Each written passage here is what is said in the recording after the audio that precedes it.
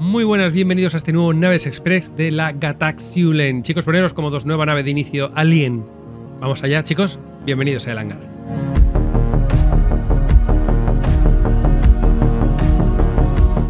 Bienvenidos chicos, bueno pues vamos a ver esta nueva nave de inicio, la Siulen.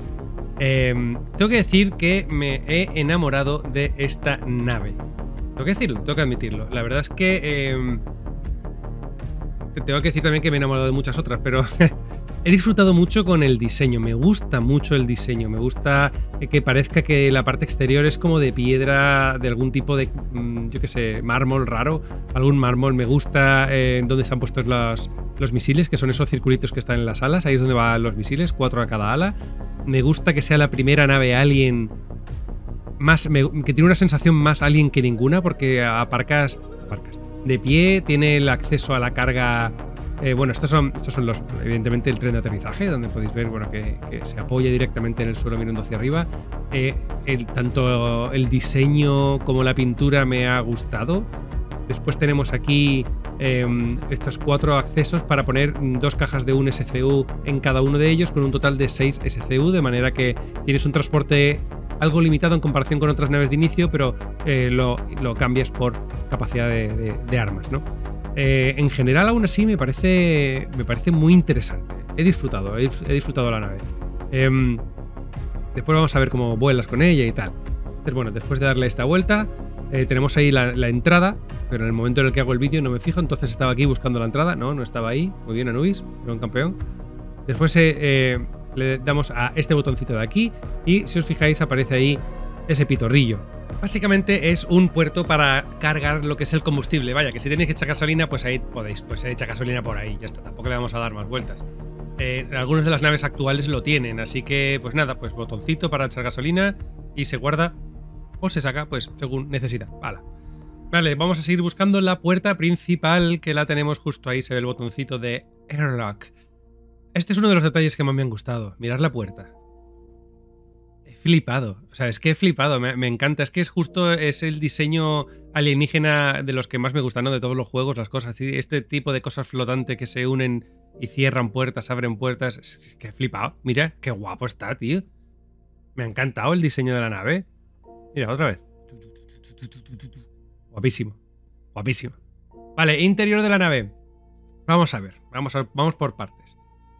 Vamos a cerrar la puerta otra vez para ver cómo se cierra. Guapísimo. ¿Qué más? Tenemos aquí eh, todo lo que es el, tema de em, piezas, ¿no? Piezas. Eh, para reparar, para mantener, para cambiar. ahí tenemos un armario con las diferentes eh, piezas por aquí. Aquí tenemos lo que sería para dejar la armadura, la armadura al completo. Caemos enteros, pero bueno, es para dejar la armadura.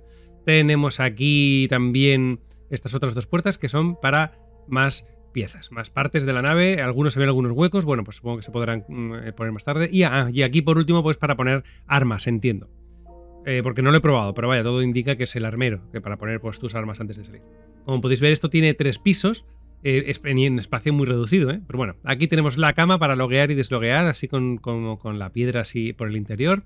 Ahí tenemos un botoncito que nos da acceso a este banco, un banquito para sentarnos. No sé exactamente para qué, pero ahí está. Eh, aquí además tenemos esta especie de consola justo aquí que no la he probado con la nave encendida, pero eh, probablemente bueno, pues de acceso a algo de, la nave, de mantenimiento, reparación o lo que sea. Y por último, pero no menos importante, pues aquí mismo está nuestra zona higiénica donde nos podremos lavar las manos, aunque eso me recuerda más a un orinal, pero bueno, para lavarlos las manos y tal. Y después, pues lo típico, eh, bater ducha. ¿Dónde está la ducha? ¿Dónde está el váter? Pues con este fantástico botoncito, mira cómo se abren ahí en cientos de partes, cientos.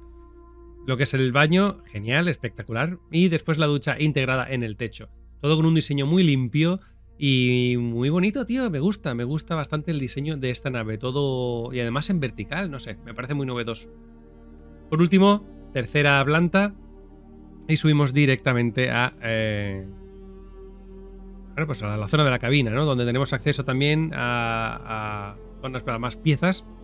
Se irán colocando, se irán viendo para manipular, arreglar, cambiar, etcétera. ¿Veis? Bueno, aquí tenemos un acceso que he pensado durante un segundo que podría ser para guardar algún tipo de, de, almacenamiento, pero no estoy seguro. Probablemente sean algunas piezas que faltan. Eh, diseño extraterrestre, pero bueno, nos centramos en lo que nos centramos. Asiento del piloto. Asiento del piloto, que te asientas, te pone mirando para arriba, toda la parte de arriba se abre y se reconfigura y te deja ahí preparados. Es que está muy chula, está muy guapo. Esto es la, he puesto la cámara exterior, pero claro, la cámara exterior flipa porque tú estás de lado en, lo alto. No. Bueno, aquí tenemos otro detalle que me ha encantado. Si tenéis, eh, no hay botones, todo es digital eh, o holográfico. Y aquí tenemos, bueno, pues el acceso a las cosas más importantes, ¿no? De la nave, ¿no? Aquí tenemos el Flight Ready para empezar a volar, pero también el acceso a los motores y otras cosas, ¿no? Como por ejemplo el Hail, aunque no está em, activado, que sería, bueno, ponerse en contacto con, alguien que hay por ahí, saludar, pero salir de la nave, abrir puertas, cerrar puertas, etcétera. Tiene dos MDF, bueno, esta es la cabina, la cabina no tiene una, una visibilidad bastante buena, no es excelente, no es la mejor que hemos visto, pero está muy bien. Tiene dos MDF, dos pantallitas, en las cuales bueno, pues tenemos el acceso estándar eh, que tenemos con todas las pantallas. Con dos es suficiente, es como el mínimo. Y con esto, ¿no? Pues ya empezaríamos a, poder despegar. Le pongo aquí la pantalla normal y empezamos a, lo que es el despliegue. Vamos a ver, claro, aquí ya empezamos con el mareo. La cámara, la cámara está de lado porque nosotros estamos como de pie. Entonces, bueno, aquí pongo una cámara más o menos interesante porque, claro, no olvidemos que estamos de pie, estamos mirando hacia arriba. Entonces, claro, ahora despegar aquí en un hangar lateral, pues es un poco como raro, ¿no? Engorroso. Entonces, bueno, pues aquí avanzo un poco, entro y ya está ahí para adelante. Otra cosa que me ha dado la sensación de que es como muy grande la nave, ¿no? Entonces, para salir y entrar va como muy justa. Bueno, esto es otra cosa. El tren de aterrizaje está guapísimo. Como podéis ver, eh, se, se suben y se bajan en los accesos a, lo que son las cajas y después el tren se, recoge o no. Para salir, claro, me quedé así con el tren de ATCG recogido porque para salir me da la sensación... Uy, ya rayado la pintura. me da la sensación de que, de que no encajaba bien. Vale, y esto es otra cosa que me ha encantado. La distribución de los motores es prácticamente toda la zona trasera, ¿no? Entonces, pues eh, me, ha gustado mucho, me ha gustado mucho. En general, me parece una nave bastante molona. Bastante, bastante molona. Vale, entonces eh, una vez hecho esto, pues ya lo que hago es dirigirme a la estación, eh, donde antes de llegar a la estación podemos disparar un poquito, ver cómo se gira. Bueno, el movimiento bastante bueno, una, una respuesta muy buena de, giro y una capacidad de velocidad máxima de 200 metros, de, máxima, máxima en normal, ¿no? De 200 metros por segundo, que está muy bien. Y, en general muy contento por cómo ha funcionado. Voy a, voy a avanzar ¿Veis? Aquí estoy subiendo, saliendo de la atmósfera. Aquí se ve el, eh, piloto justo en el centro con todo lo de alrededor, etc. La verdad es que eh, me ha gustado mucho. Vale. Eh, esto, como ya he dicho antes, es una nave mm, que cambia, cambia algo de capacidad por armas. Tiene tres armas de tamaño 3, lo cual en una nave de comienzo, de inicio, está muy, muy, muy bien. Estas armas están fixed, es decir, no tienen el gimbal, disparan justo donde estás apuntando tú la nave. Eso tiene sus pros y sus contras. El pro es que eh, puedes poner eh, armas un poquito más potentes, em, o al menos yo no sé si eso lo cambiaron o lo pretenden cambiar hace poco, dentro de poco. Y el gimbal, bueno, pues el gimbal tiene otras ventajas y otras desventajas. Aquí podéis ver cómo tenemos los misiles, eh, cuatro misiles por cada una de las alas, con un total de 12 misiles, ¿no? Está bastante interesante, salen de cada uno de los agujeritos. Y bueno, pues esas armas de tamaño 3. Eh, bien armada, capacidad para, para, bueno, pues dormir, ducharte, guardar cosas y a llevar hasta 6 SCU en esos, esos puntos de carga. La verdad es que muy, muy, muy interesante. Mirar la maniobrabilidad que tiene. Eh, también es verdad que está, que, bueno, no sé, en general. Yo la verdad es que la he disfrutado mucho tanto que he cambiado una nave que tenía por ahí que no iba a usar y he metido 13 euros. Ya sabíamos que íbamos a meter dinero hasta que saliera Piro, pero resulta que Piro ya lo he visto, ya está aquí más o menos. Entonces, bueno, pues venga, he metido 13 eurillos, que era la, diferencia entre la Rock y esta. Vale, aquí me, he encontrado yo con un pequeño problema, que es que, claro, esta nave es grande, creo que roza con todo, y para aterrizar, pues claro, ¿qué, es lo mejor? ¿Tratar de entrar como sales y ponerte de pie? O yo he tratado aquí de ponerme de pie en tercera persona y después de lado y las, los mandos no van exactamente igual. Total, que me ha costado, ¿eh? Me ha costado al final entrar a la nave. despacito, para ir con prisas no, no era, ¿eh? hasta que al final pues he logrado, he logrado ponerlo. Esto es porque el, hangar es, vertical, es horizontal. Si, fuera un hangar, vertical que hay muchos en otros planetas, pues sencillamente es acercarte, darte la vuelta y bajar. Eso sería lo más, lo más fácil del mundo mundial. Pero en este caso en concreto, nos ha costado un poquito más. Y con esto pues veríamos lo que es la parte de naves express de la, de la nave, ¿no? yo creo que, está genial, está genial, a mí me gusta mucho. Después le, me he dado un par de, de, combate. Al comprármela, eh, he, combatido un poco ahí en el Bundle Swarm. Y bueno, pues eh, tiene sus ventajas y sus desventajas, como he dicho, ¿no? La ventaja número uno, pues está muy bien armada. Entonces es relativamente fácil mm, destruir naves ligeras. Eh, haces bastante daño. Desventaja, las tienes fixed, es decir, dependes de tu maniobrabilidad y tu habilidad como piloto para ir dándole caña a esto, a lo, que son los Bandul. Y después, desventaja aunque tienes dos eh, escudos de tamaño 1, es relativamente fácil, o a lo mejor es al principio, ahora tendrán que, tendrán que equilibrarle toda la pesca, pero es relativamente fácil perder tus alas, lo cual pues te hace perder la mayor parte de tus motores y te hace, em, te deja bastante vendido. Y esto me ha pasado pues en este mismo combate que lo estaba haciendo la prueba, cuando he notado que digo, yo tío, la nave no responde, ¿qué, ¿qué, está pasando? Ni siquiera me había dado cuenta que me habían destrozado las alas y me habían dejado hecho un gurruño, como podéis ver aquí. Parte buena, conservas las, las armas. Las armas al no estar en las alas, las conservas. Parte mala, eh, tienes la mitad de la mitad de la mitad de los motores y pues te puedes mover de aquella manera. si aterrizas, si os fijáis, hay un pequeño bug que, se, que esto cambiará con el tiempo, que si os fijáis están ahí flotando las tres patas del tren de aterrizaje. O sea, si quisiera aterrizar, ya, ya hay informes que dicen que la nave al final acaba aterrizando como si tuviera las patas, aunque no estén, aunque tenga las alas rotas. Pero bueno, ya sabéis que esto se va a actualizar y como todas las naves la quieren poner con el sistema de Mailstorm para que se destruyan por piezas y toda la pesca, ya hablaremos de eso cuando llegue el momento, pues em, eso pues no existirá ese problema, ¿no? ¿Veis? Ahí está la, la pieza de aterrizaje. Entonces, pros. Vamos por saco. Pros. Maniobrabilidad, visión aceptable, munición, nave de inicio y bien, contras. Sí, relativamente débil, la he notado relativamente débil incluso en comparación con otras naves porque después de hacer esto lo he probado con la, con la Cutter de Drake, que fue la anterior que salió, que la tengo por ahí también, y, me parece como más compacta y que tiene un poquito más de aguante.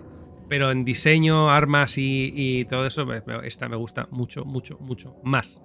Entonces, entrando un poquito pues, en, la Sirulen ya lo que es en la página web, podemos hablar eh, de las preguntas y respuestas, ¿no? Entonces le dice, ¿la Sirulen cabe en alguna de las naves que están actualmente en el juego? Dice, bueno, pues es la primera nave que se aterriza de manera vertical y tiene unas... Eh, eh, tienen las métricas estándar de los hangares, pero no, no te cabe. No cabe en ninguna nave, punto. O sea que si queréis llevarosla allí a, desde Stanton hasta Piro, buena suerte. Lo mismo sí, la plataforma, ¿no? La nave que es una, una plataforma que la puede llevar, eso es lo mismo, ahí sí. Dice, ¿hay algún MDF o pantalla eh, que te ayude al aterrizaje para que los jugadores no tengan que usar la cámara externa? Dice que eh, la zona de aterrizaje o un, MDF de aterrizaje está planeado en todas las naves, no en esta, en todas. O que te enseñe un poco el terreno y tu nave con respecto al terreno para que ah, aterrices mejor. Pero es algo que está planteado en el futuro. De manera que por ahora pues puedes utilizar lo que es el, eh, las guías del compás a modo de 90 grados, pues estás mirando para arriba, punto. Bajas y aterrizas. Si no quieres poner la cámara en tercera persona bajo ninguna manera.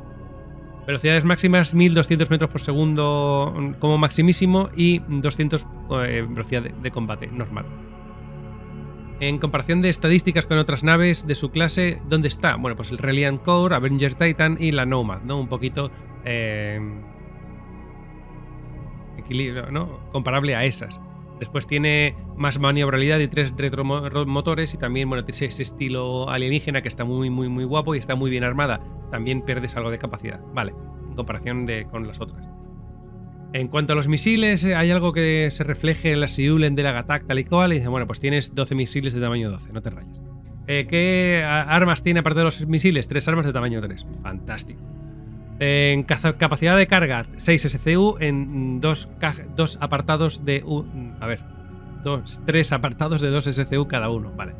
Eh, ¿Tiene un rayo tractor? No, no lo tiene. Arréglate. Eh, ¿Tiene el, recogedor de hidrógeno? Sí, vía los intakes de los, del combustible, como prácticamente todas y cada una de las naves que hay. ¿Tiene menos armadura que otras naves de su clase o su tal? Dice, no, tiene una armadura comparable a todas las naves de su clase y de su, rol y tipo, es decir, las de inicio pro. Inicio pro. Esta es una nave Xi'an que viene con unas características que, que no tengan unas naves humanas. Dice, no, Gatak construye naves Xi'an para el mercado humano. No os emocionéis. Después, dice, ¿qué amenidades tiene la Siulen? Dice, pues básicamente todo lo que puedes esperar de una nave de este tamaño, es decir, el baño, ducha, ducha váter, Em, almacenamiento personal eh, para poner la armadura y una cama.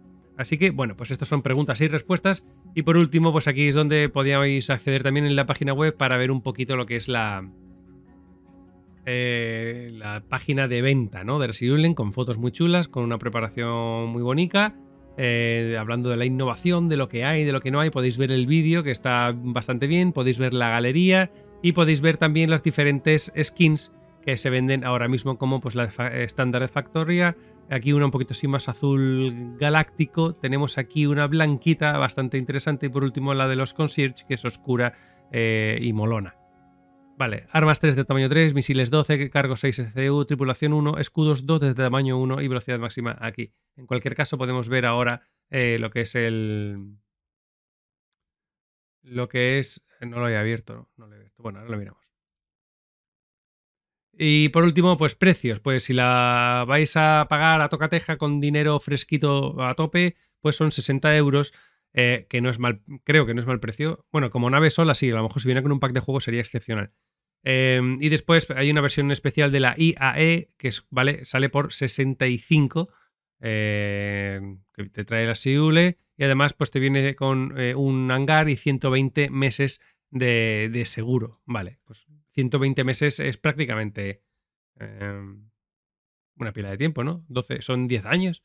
Em, eso, es, eso es una pasada. 10 años es como tenerla eh, con la famosa LTI, ¿no? Para toda la vida, 10 años de seguros. Vale. Y después, por supuesto, si os queréis comprar aparte lo que son el pack de tres skins o las skins independientemente, pues, pues las compráis. Eh, ¿Qué más? ¿Qué más? Em, ya sabéis que que las skins las podréis comprar más adelante probablemente o conseguirlas dentro del juego en el futuro. Yo ahí no, no voy a entrar. Es cuestión. Ah, y los precios, ya sabéis que estos son los que me salen a mí. Depende de dónde viváis, pueden saliros precios diferentes. Y ya me queda con la cosilla esta. Esto lo quiero abrir aquí. Vale, perfecto. ¿Qué tenemos aquí? Uno de dos y dos de dos. Esto es lo que aparece. Vale, pues tenemos aquí las características. El rol de comienzo. Te vienen los tamaños, te vienen los asientos eh, tanques de combustible 2 de tamaño 1, 2 de tamaño 1, planta de energía 1 de tamaño 1, generadores de escudo 2 de tamaño 1, radar 1 de 1, Quantum Drive 1 de 1, motores principales 6, de maniobra 24 más 3, armas controladas por el piloto esas 3 de tamaño 3 y los misiles. O sea que es que no hay más información, esta es la nave que es. A mí me ha gustado bastante, lo he disfrutado y de hecho me la he comprado, así que pues ahí está la cosa. ¿Que la cambiaré cuando salga la próxima nave nueva? Pues probablemente. Y con esto, damas y caballeros, hemos terminado este Naves Express de esta nueva nave. Espero que os haya gustado. Si ha sido así, like, comentario, suscribiros y chicos, nos vemos en el próximo vídeo. Chao.